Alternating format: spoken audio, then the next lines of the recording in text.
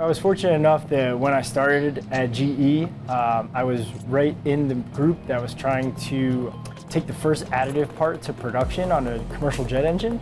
Uh, so I pretty much, from the ground up, my career experience has been with additive. And so we were working on fuel nozzles, which is basically how you inject fuel to a jet engine. And, and as we took that journey, we went from jet engines to say, hey, where else in the world uh, can additive be a benefit? And one recurring theme was always just thermal systems or heat exchanger design, uh, which ultimately led to the KARNO generator and where we started working on this project. Additive manufacturing definitely gives you a lot of capability, but it's not the vending machine that you put a dollar in and uh, like a perfect part pops out. Most of our engineers have spent over a decade mastering this process for use in aerospace, medical, and other really high sort of requirement industries.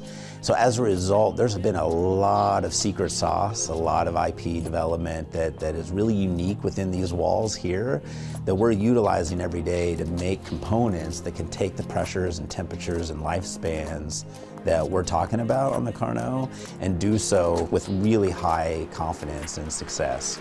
Additive's not easy, right? When we were starting off in aerospace, um, we failed many, many times. At the end of the day, it's perseverance. Throughout the way of you know going from an aerospace part to where we're at with the KARNO generator, you know there was learnings along the way of learning uh, capabilities that we can unlock in the printers themselves as we just start trying to print different geometries and try to go push the printers beyond where they're at today.